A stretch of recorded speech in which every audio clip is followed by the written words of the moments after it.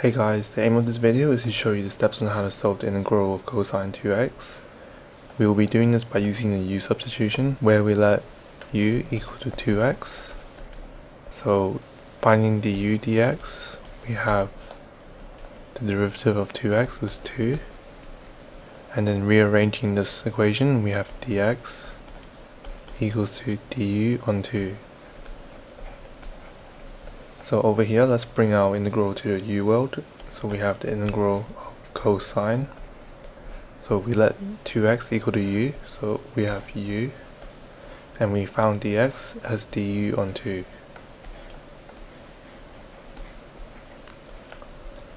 We can take out the common factor of half outside our integral to make it a bit more simpler.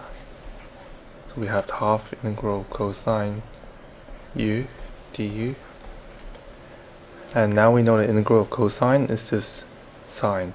So we have half sine u plus c.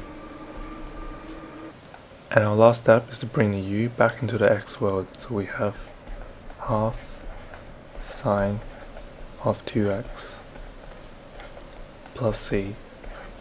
And this is our answer.